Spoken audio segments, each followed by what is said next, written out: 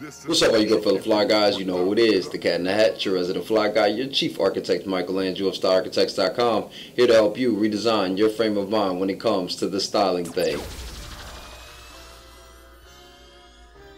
And welcome to another Discourse in Dress, some expressions for your ensemble, and some sonnets for your style. Today we are going to be wrapping up our conversation with the covering that is the trench coat. Now, if you've been following us previously throughout the week, then you understand the different color dynamics, what you think about when it comes to your trench coat, how to incorporate that into your wardrobe, and what's trending with the jacket itself. Now, I wanted to make sure that I wrapped up the conversation on trenches with a brief history as well as the uh, construction and all of the different types of dynamics that go into creating a trench coat. Now again with the history this is going to be a very concise and summarized version of the history but if you want something more in depth but then by all means leave me some comments in the comment box and I'll definitely make sure that I come back to that history at a later video.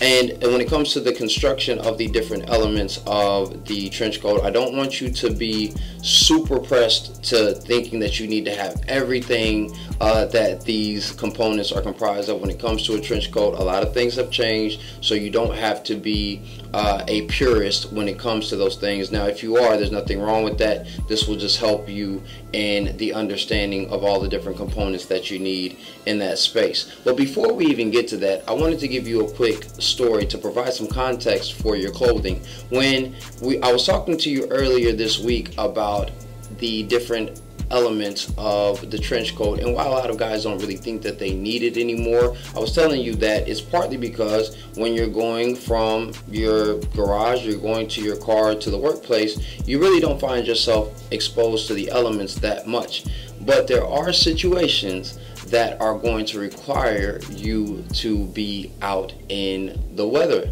And this happened to me a few days ago. I was going to an event and I checked the weather and it was not really supposed to rain. It was, I think, a 30 to 40% chance of rain. And as I was driving to the event, the clouds uh, seemed to get a lot darker and I found myself in a downpour. Now, luckily for me, uh, with the time that it took for me to find parking and then for me to get to the event, I was able to maneuver through the downpour to a lighter raindrop. So I still did get wet, but I wasn't drenched coming into the space and was quickly able to dry off. But there was a guy after me who uh, was coming in probably about five or ten minutes after I did, and I guess the rain had picked back up, and he was soaked. It was just, it was a shame and he was walking up the stairs and I saw his shoulders slumped, his head down, and he just looked deflated. And he only had on a dress shirt as well as a pair of pants and some shoes. So the dress shirt that he had on was uh, aqua blue and it was completely soaked and it was exposing his undershirt, his white undershirt uh, under it. Now this guy had to run to a corner. He went and got some paper towels and was trying to, you know, dry himself off but he looked around and seemed to be not only uncomfortable but unwilling to network in those different types of spaces. And I can't say that I blamed him. I wouldn't have moved around in that space as well until I dried off. But it made me think about how he was going to move afterwards because these people had seen him come in, they saw his demeanor and they saw his energy, and it made me wonder if they would be as willing to interact with that type of energy or that type of person uh, throughout the rest of the evening. Now, if you're the guy who doesn't really get phased by any type of situation, you still may be able to maneuver in those spaces. But for that guy, as most guys, part of their presentation or their confidence comes from their presentation and their image. And so it showed me very quickly how the effects of our image not only impact others, but they also impact ourselves. So I do want you to try that on and see how it fits you. And before you are hesitant to go get a trench coat or a covering, think about the fact that you could find yourself exposed.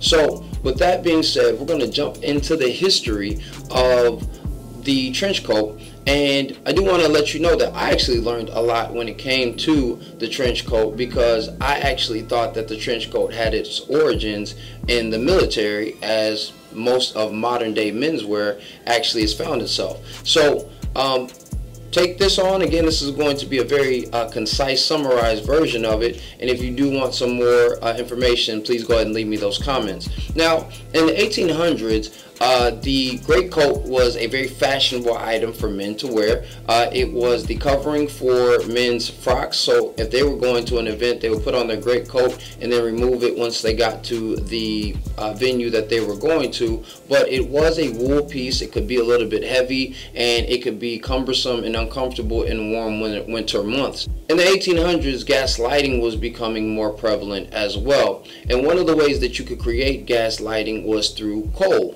And because of that, there was a gentleman who was an industrialist named James Syme, and he was creating gas through coal. What ended up happening was he discovered that he could dissolve rubber in the process of creating that gas. So he took that to his friend, you know, to an associate, Charles Macintosh, who was in the clothing business, and Charles Macintosh began to uh, play with that uh, different type of treatment so Charles Macintosh began playing with that whole concept and discovered that if you put it between two layers of cloth, he could create rain resistant clothing and hence the beginning of the trench coat.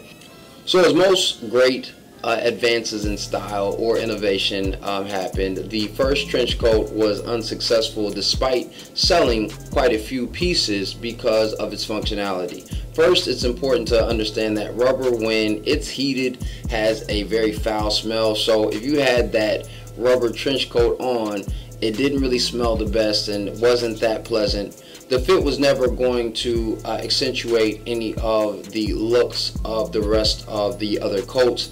And then on top of that, uh, from a functionality standpoint, when it got hot, the rubber would begin to melt and become very very sticky which would create adhesive on the clothing and would uh, damage that. And then in the cold what would end up happening is is it would become very stiff and rigid which made it essentially unwearable uh, for the wearer there. So because of that there was a lot of things that didn't really work there and it began to fall out of favor um, in that time period the trench coat really actually began to gain its prominence and traction around World War One, and this happened because a lot of people in the British Guard needed to have the covering when they were moving throughout different spaces and were being caught in the elements. And all these different aspects of the components that create the trench coat actually have function. One of the things that you'll see on a trench coat is a D-ring belt with different um, different hooks and those were actually so that men could store their swords they could store maps and some people have said that they would store their grenades there. I don't think that that would have worked after the first person did and that clip came out. I'm just saying i don't think that that would be the smartest place to put your grenades but there's a possibility that that's where they went as well. And the reason why trench coat derived its name was essentially because the trench coat was worn for the guys who were in the trenches. And so because they had to deal with the mud, they had to deal with the rain, all those different types of things, they were in the trenches and they were wearing their coats, hence the name the trench coat. So uh, there are numerous other elements and even theories when it comes to the origins of the trench coat. I won't go into those there because uh, I'm on a limited amount of time. Uh, but uh, if you are interested in a more concise uh, understanding of the history of the trench coat, please by all means leave me some comments in the comment box and I will definitely provide you with that.